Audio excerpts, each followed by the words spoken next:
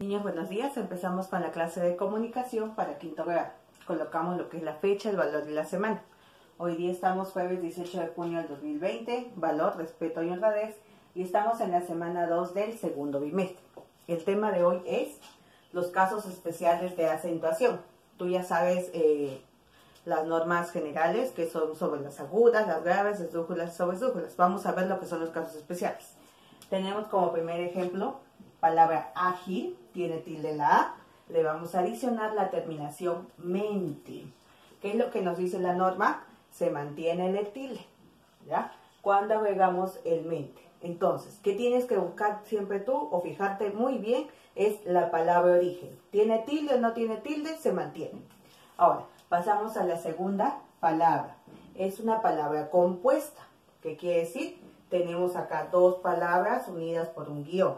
Entonces, va a conservar su tilde si es que la palabra origen lo tenía. En este caso tenemos esdrújulas. Químico, farmacéutico. Ahora, vamos con el tercer ejemplo. Tenemos palabra décimo, tilde, palabra séptimo, tilde. Cuando las unimos, va a haber un cambio. Solo se va a mantener la tildación del segundo componente. Obviamente si es que la palabra origen lo tiene. Ahora, tenemos cuarta palabra, píntalo y dame. Acuérdate que píntalo viene del verbo pintar. Dame viene del verbo dar. ¿Qué es lo que le estamos agregando al final? Pronombres enclíticos. Por si te has olvidado, pronombres enclíticos son lo, te, la, se y me.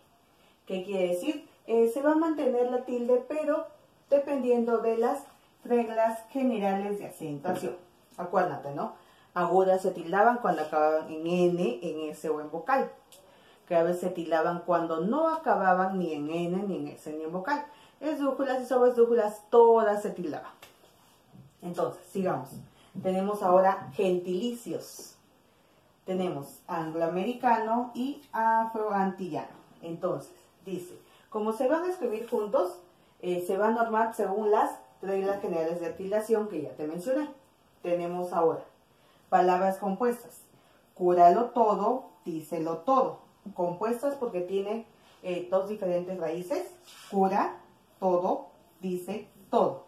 ¿Cuál es la característica? Que al medio tenemos un pronombre crítico. Mira, LO, LO, lo, pronombre crítico. Lo. Entonces, dice, Dice, se escribirá sin la tilde que solía ponerse al verbo. Acuérdate, es cuando tenemos compuesta dos diferentes raíces y pues tenemos ahí el adicional del enclítico, del pronombre. Ahora, pasemos a lo que es la práctica. Tenemos, número uno, vamos a formar los verbos y tildarlos. Eh, acuérdate que en la primera columna tenemos los verbos y luego ya tenemos los pronombres enclíticos, ¿no?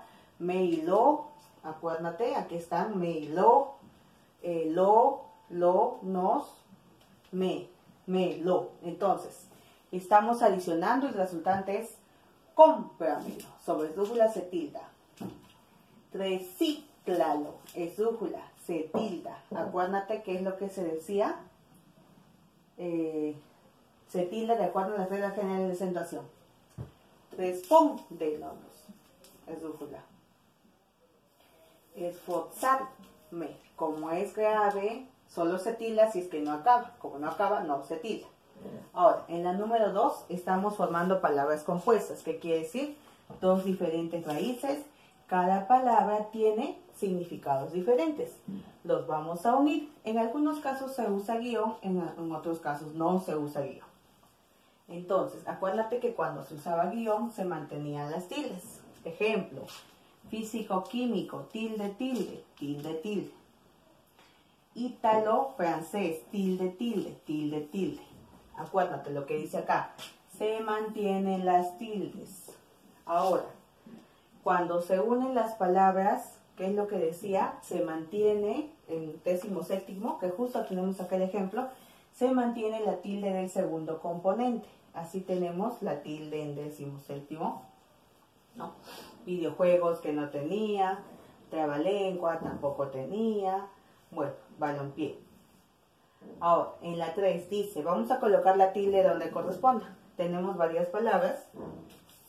Algunas están, obviamente, mira, por ejemplo, ágil con mente, en rápidamente, si es que es, eh, si es que la, eh, donde se aplican este, las otras normas, por ejemplo, cuando te decía, ¿no?